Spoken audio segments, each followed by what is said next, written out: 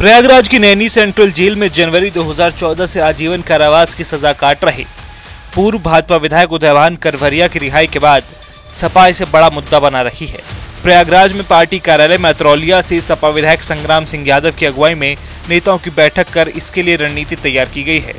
बैठक में तय हुआ है कि पार्टी से कानून व्यवस्था और गुंडा राज के तौर पर सदन में रखेगी।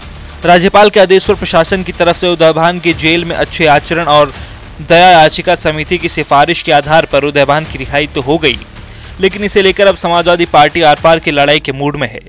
प्रयागराज में पार्टी कार्यालय में समाजवादी पार्टी के नेताओं और स्थानीय पार्टी पदाधिकारियों की बैठक हुई, जिसमें विधायक जवाहर यादव पंडित की पत्नी बीजमा यादव सहित मंडल के संगठन के सभी पदाधिकारी भी मौजूद रहे। सपा विधायक संग्राम सिंह यादव को इसकी ज़िम्मेदारी दी गई।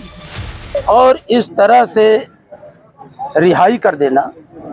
कहीं ना कहीं ऐसा लग रहा है कि उत्तर प्रदेश में कानून का राज नहीं रह गया है जिसके ऊपर इतने संगीन आरोप इतने दिन दहाड़े हों सिविल लाइन पास इलाके की घटना हो और उन्हें इस तरह से रिहा करना ये कहीं से उचित नहीं दिखाई देता। विधानसभा में मुद्दा उठेगा ये?